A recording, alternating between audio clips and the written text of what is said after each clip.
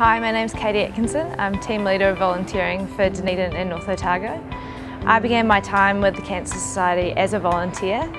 Um, I helped out with the University of Otago Relay for Life in 2014. It was at that time that I realised how important volunteering is and what a difference it can make to organisations. The Cancer Society receives no government funding and so volunteering is very important to us.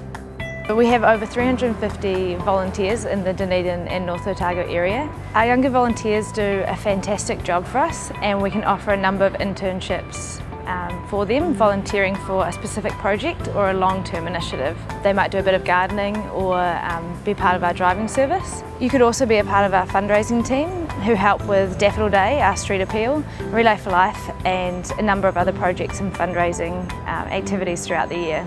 So if you're interested in volunteering, uh, you can find information or apply online um, at cancernz.org.nz forward slash Otago and Southland or get in contact with your local Cancer Society office.